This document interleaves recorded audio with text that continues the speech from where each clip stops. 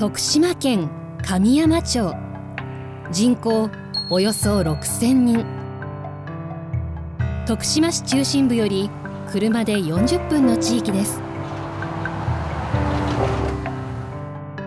弘法大師空海も通ったとされる昔ながらの遍路道。別名遍路転がしと言われるお遍路の難所も通っている中山間地域の町です。そんな古くからの文化と街並みを残す神山町に多くの会社や起業を目指す人たちが集まってきています。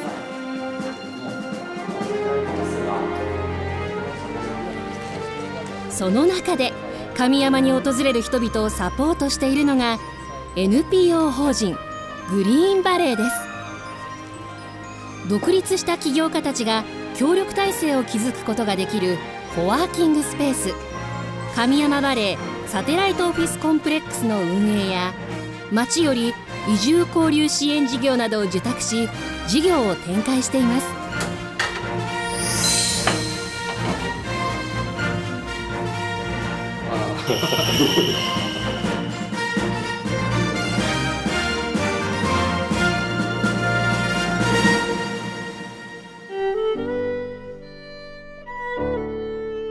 町の農村環境改善センターに事務局を構える NPO 法人グリーンバレーグリーンバレーが設立されるきっかけになったのがこの土地で守られていた一体の人形でした。昭和2年に全米各地から日本全国に送られた青い目の人形です。農村環境改善センターの敷地はもともと小学校でした。青い目の人形はとある教師の勇気ある行動によりこの地に隠され激動の太平洋戦争を乗り切り平成まで守られてきました。この青い目の人形アリス人形をアメリカへ里帰りさせるために PTA や有志によりアリス里帰り推進委員会が組織されます。そして平成3年に無事里帰りを成功させ当初の目的を果たした推進委員会は発展的解消を行いアリス人形から受け継がれる国際交流の目を大事にしていく活動を行っていきます。NPO 法人グリーンバレーの前身である国際交流を目的とする団体神山町国際交流協会の誕生です。でよくやっておったのが、あの外国人の英語の先生っていうのがおるんだけども ALT そういう人たちの民泊の授業っていうのを結構やってました。それはそういうような状況に町の人たちが少しずつこう慣れてきたと思うんですよね。で得意なもんでなくなるっていうところでだんだんだんだんこうハードルっていうのかあの壁が低くなってきたわけですよね。でそもそもそれ自体があの国際交流の目的でもあるわけですよね。国際交流に取り組む中アート作品の制作を行っている人を呼ぼうという試みが始まります。神山アーティスト・イン・レジデンスです。国内外から数名のアーティストを神山町に招聘し町内各地で展覧会を行います。地域住民が作品の制作に協力するのが特徴です。また国際交流協会は海外で行われていた試みも積極的に取り入れました。神山町の道路沿い 2km おきにある看板を見かけることができます。これはアメリカで行われていたアダプトアハイウェイプログラムを参考に神山町内の道路に里親制度を設け地域住民が道路の清掃美化活動を行うというものです。この活動には地域の企業や団体などが参加しています。神山アーティスト・イン・レジデンスを始めたりそれからあのアメリカの道路清掃の仕組みっていうのを神山で初めて取り入れるみたいなことを、まあ、やり続けることによって一つのこう街づくりの方向性っていうのがだんだんあの、まあ、定まってきたっていうかあこういうふうにやればうまくいくんだっていうことがこう実績が積み上がってくるわけですよね。神山のまちづくりの方向が見えてきた神山町国際交流協会はさらなる活動の幅を広げるため平成16年に NPO 法人グリーンバレーとして活動を始めます。平成19年徳島県から県内市町村に移住促進事業を行うための移住交流支援センターを設置する方針が示され当初8つの市町村にセンターが置かれました。他の地域では行政が運営をする中神山町については民間である NPO のグリーンバレーが運営を担うことになります。神山町はなぜ NPO のグリーンバレーにお願いをしたのでしょうか？アドプト活動であるとかあとまあ有名なのでいうとあのアーティスト・イン・レジデンスとかああいうふうな活動を通じてまあ街づくりにまあ非常に熱心に取り組んでいただいてたっていうところがありましてでその中でもあのアーティスト・イン・レジデンスですね、まあ、実際に滞在するということになった時に住む場所が必要になってくるんです。この場合この NPO 法人のグリーンバレーさんの方が実際に住む場所まあ、空き家であるとかそういうふうなところを提供していたっていう経緯がありまして、えーとまあ、そういうふうな実績がまずあったというのが一番の要因ですね。移住促進事業は通常移住希望者が手を挙げ先着順や抽選で決めていくことが多いのですが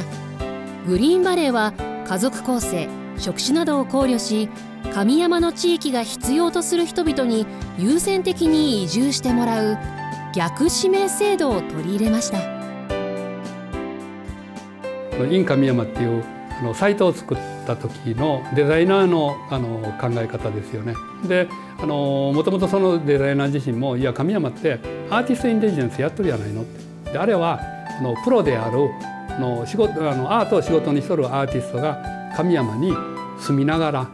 このその仕事をやるっていうことでしょ。それだったらそのアートやなくてそれが違ういろんな職あの職業であっても同じじゃないですかと。だからあの場所を問わず成立するような人たちがこの町へやってきてで自分が仕事を持ってきてあのやるっていうのはあの結構現実的にあの割とあんまりこう他ではやられてないけどもこれこれうまく回るんじゃないですかっていうみたいなあのある面こうあのアイデアをもらったわけですよね。国際交流協会時代に培ったノウハウがさまざまなまちづくりの仕組みを生み出していきました逆指名型の移住促進事業は単に住民を増やすだけでなくそれまで町になかった業態のお店を開店させることにもつながっていきます。こちらはシューズ工房のリヒトリヒト神山。オーナーの金沢さんはもともとグリーンバレーが行っていた緊急人材育成事業神山塾がきっかけで神山町を訪れました。23年かけて独立しようというふうに考えて名古屋から僕は来たんですけど、まあ、そのきっかけとして神山塾でこう人脈とかあのいろんなそういう企画の仕方とか学んだ上で、まあ、土台作りみたいな思いで来てるんですけど、まあ、ある時に神山塾の塾長である祁答院さんっていう人にあのこの場所があるよっていうふうにあの教えていただいてそれでまあ見に来て見たのが、まあ、きっかけといえばきっかけでまずは始めてみるっていうことからスタートできればいいかなと思って、まあ、この場所であのやることに決めました。こちらはカフェオニバ。町にもともとあった酒蔵を改装したお店です。グリーンバレーが運営するウェブサイト in 神山で物件を見つけ開業をしました。今日も多くのお客さんが入っており予約がないと入れないほどです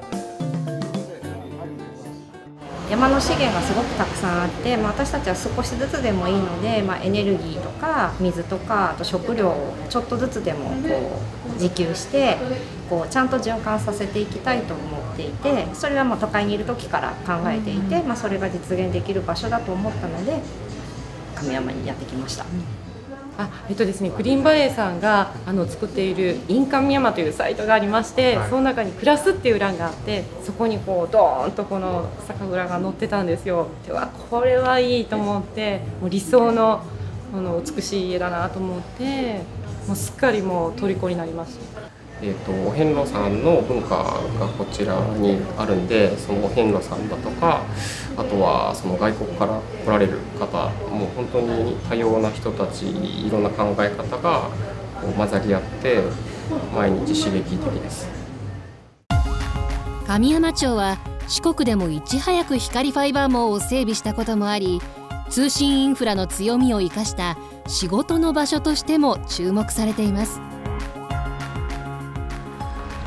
通信インフラ環境の強さから起業を目指す人フリーランスの人なども多く集まってきています。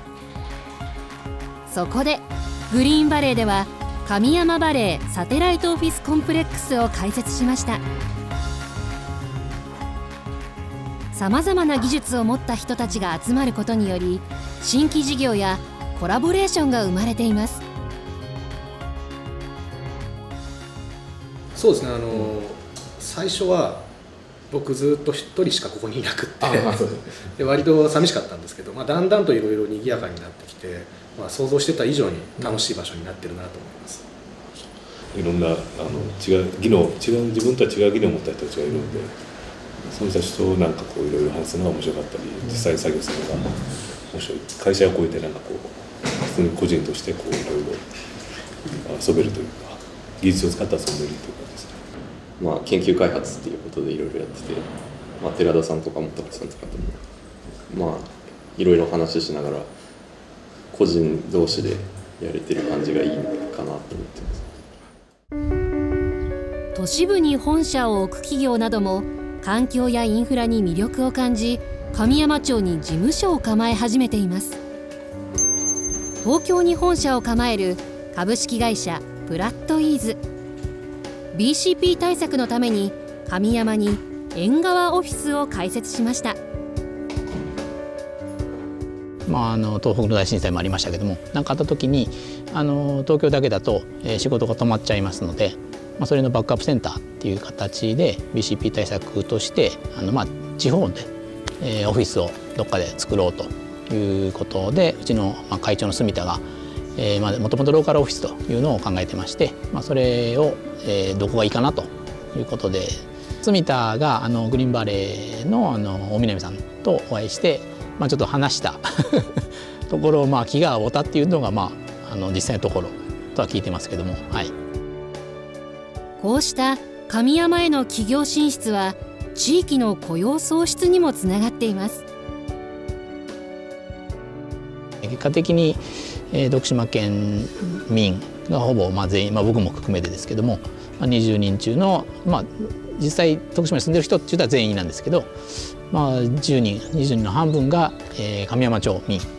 で神山町で生まれ育った子が5人ぐらいいて、まあ、そのこともあって、まあ、地元の方にはかなり身近に感じていただけてるのかなと思います。NPO 法人グリーンバレーは国際交流活動から発展させ仕事を持っている人たちの人材誘致によって地域の活性化につなげていること。次々と新しい活動を行い高速通信網の整備を契機に人口流入増を果たしたことなどが評価され平成26年度ふるさとづくり大賞を受賞しました。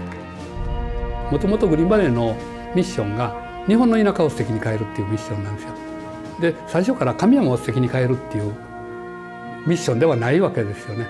だからあの今神山でやることの遠くには彼女日本の田舎っていうのが広がったんですよっていう見方でいろんなことをあのやっておるんで一つのこうそういうようなモデルを神山で提示できればなんか日本の田舎全体がもうちょっとこう活力を持ったような形であのまあ生き生きとワクワク動けるかなっていう気がしますよね。神山町で始まった田舎と海外を結ぶ国際交流事業は